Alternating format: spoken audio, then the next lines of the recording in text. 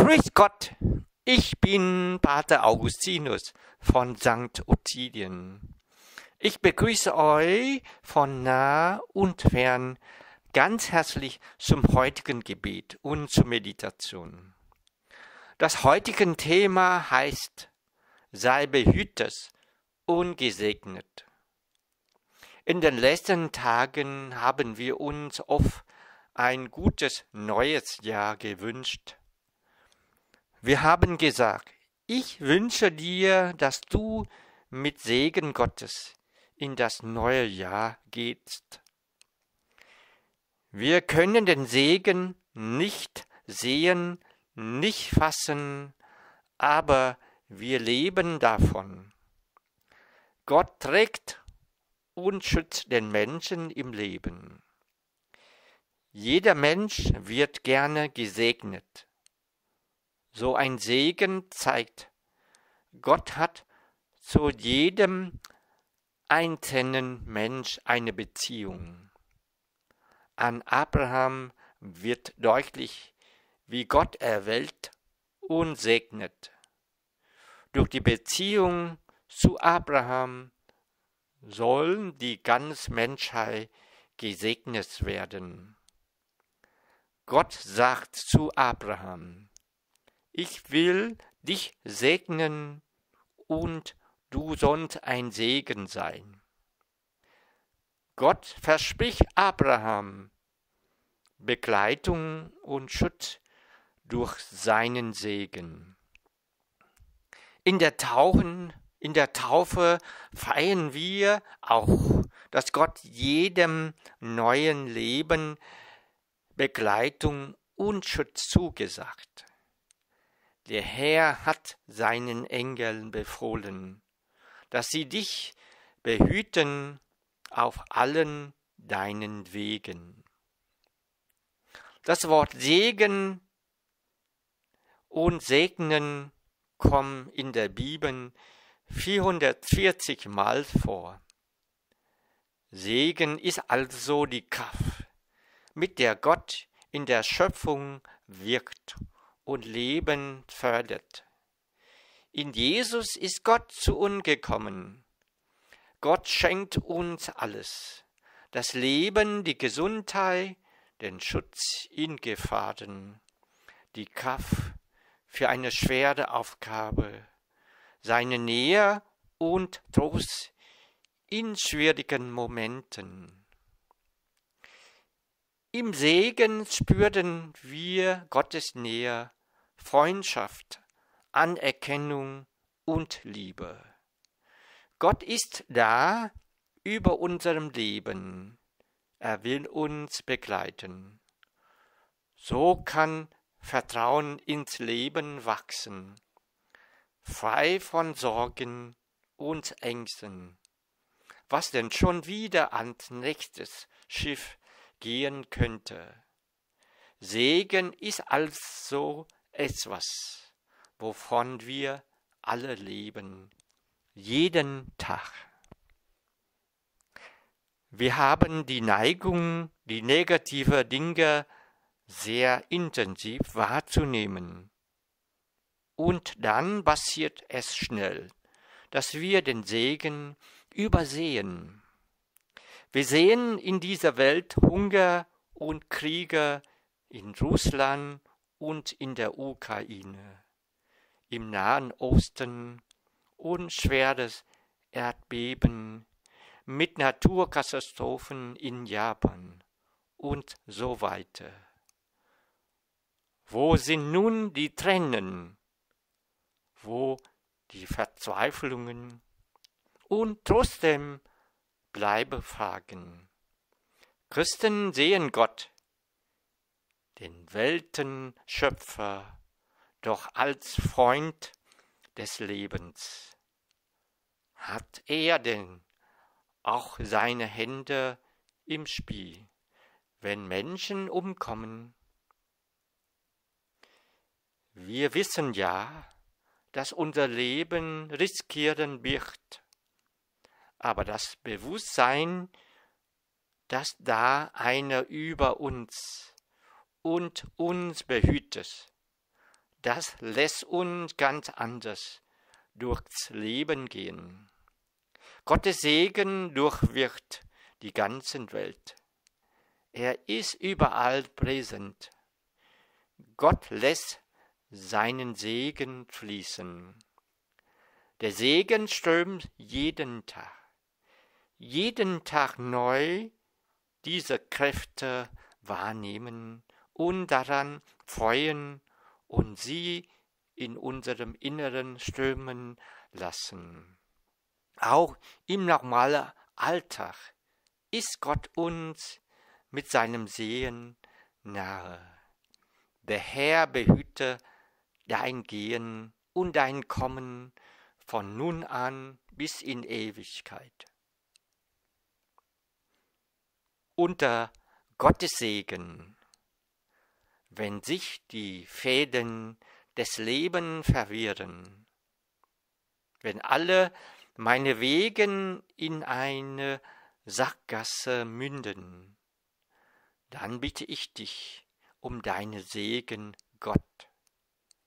Wenn die Zeit mir zwischen den Finger zerrinnt, wenn Unruhe mich vor sich her treibt, dann bitte ich dich um deinen Segen, Gott.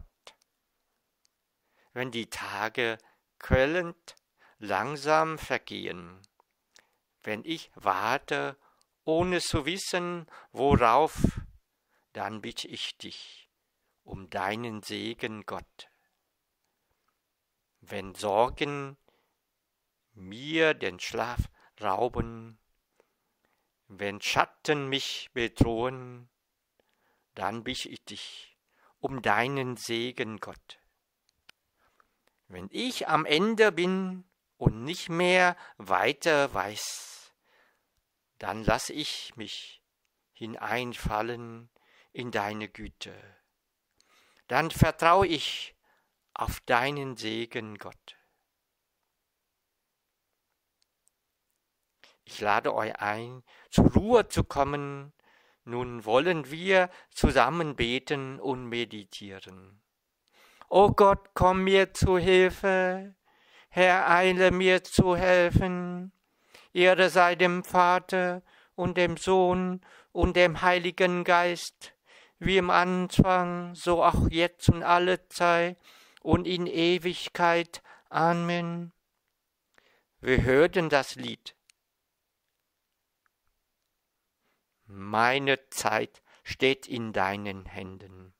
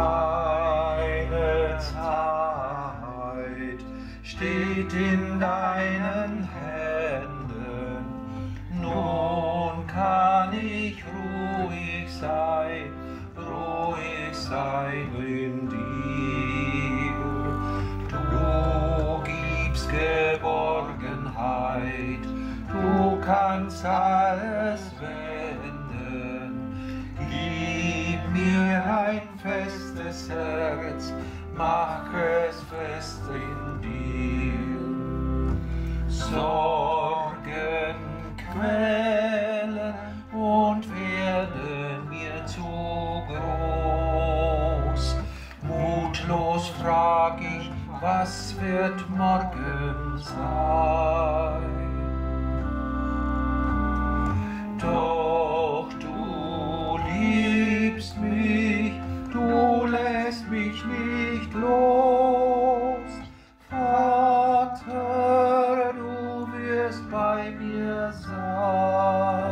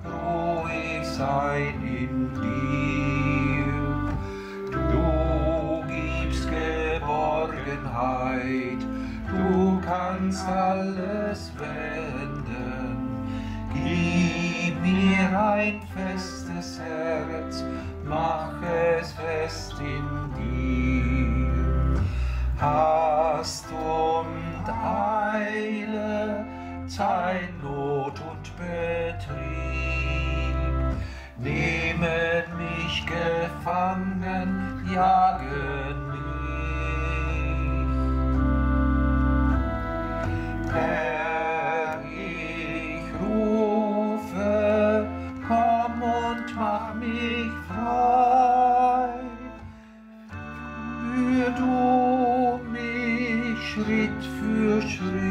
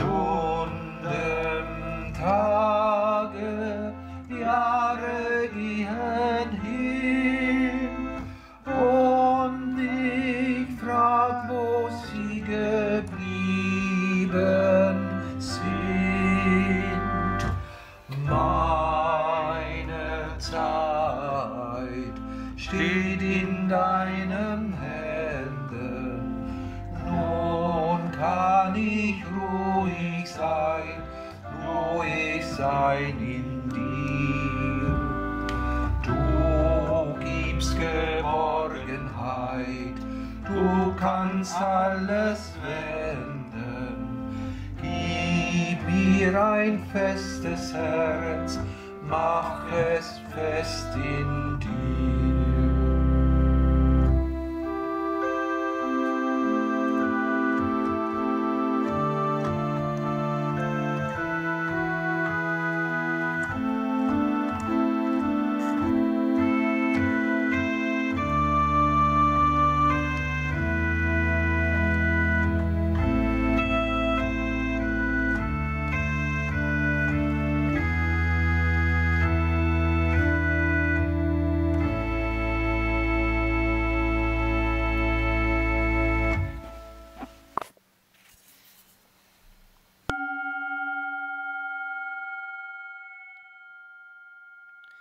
Wir sitzen aufrecht, ruhig, bewusst und offen für alles.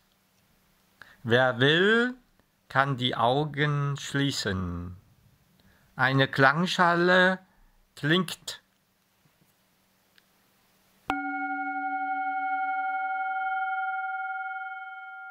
Wir hören zu.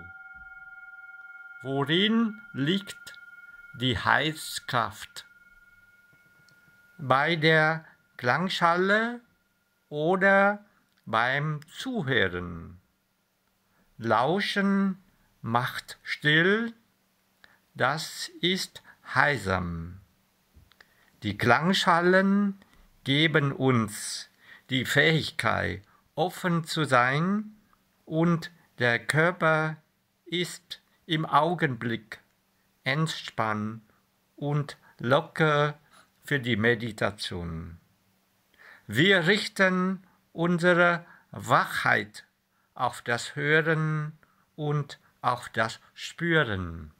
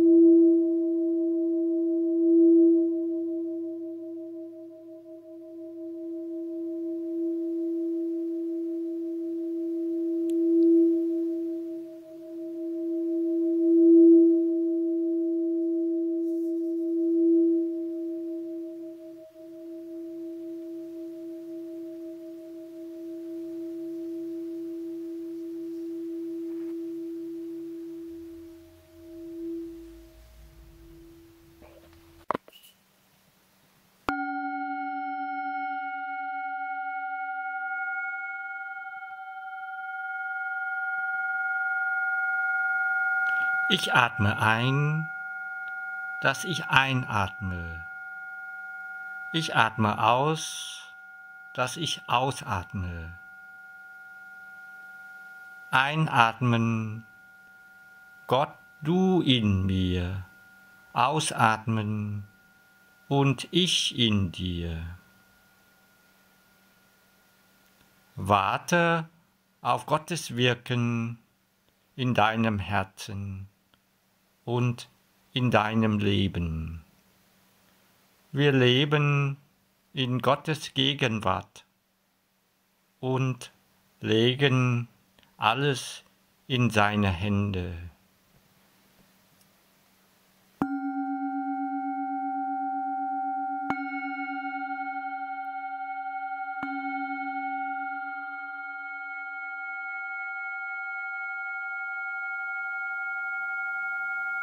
Gott, du in mir und ich in dir, du in mir und ich in dir.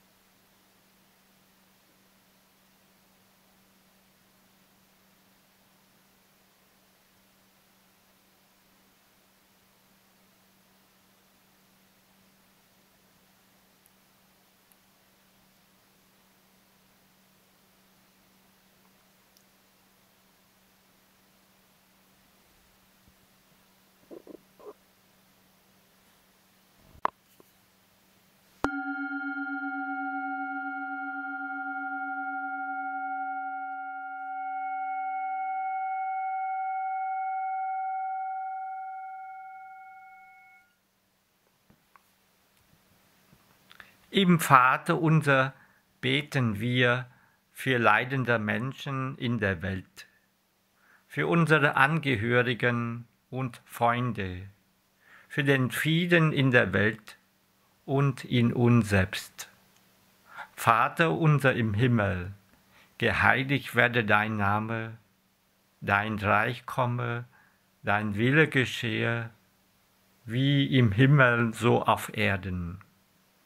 Unser tägliches Brot gib uns heute und vergib uns unsere Schuld, wie auch wir vergeben unserem Schuldigen. Und führe uns nicht in Versuchung, sondern erlöse uns von dem Bösen. Denn dein ist das Reich und die Kraft und die Herrlichkeit in Ewigkeit. Amen.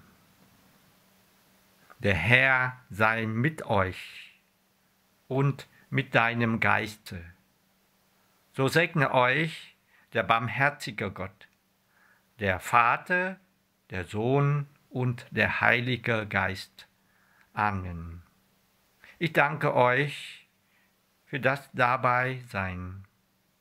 Lebe, lache, liebe und lege alle Sorgen in Gottes Hände. Zum Schluss hörten wir Orgenmusik. Ihr könnt danach gerne noch in der Stille sitzen bleiben. Gottes Segen und bleibt gesund.